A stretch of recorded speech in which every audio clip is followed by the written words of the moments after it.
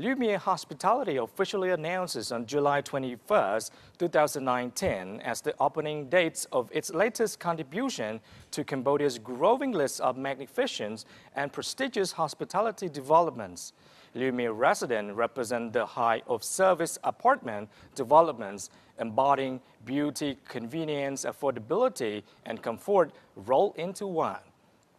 An award-winning property, the residence is widely recognized for its architectural and interior design. Managing Director of Lumiere Hospitality, Ms. Celine Quek, said that they wanted to come up with a project of the finest quality that everyone can be proud of, which will be the next landmark for Cambodia.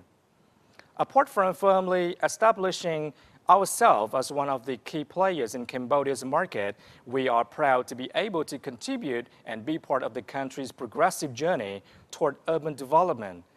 Currently, Lumiere Hospitality owns and manages two properties in Phnom Penh, namely Lumiere Hotel and Lumiere Residence, she added.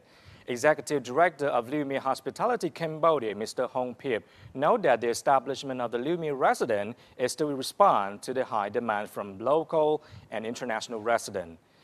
Lumiere resident emphasizes on pleasant service and attention to detail, extending to a world-class experience with elevated living standards.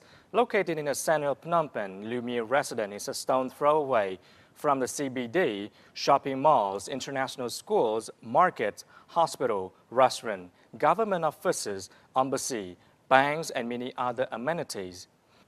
The 25-story apartment hotel is composed of 166 rooms that are elegantly designed and laid out, equipped with a rich variety of in-rooms amenities, the rooms are sized from 39 square meter to 74 square meter, while the residences, suites, and villa have dimensions of between 74 square meters and 622 square meters.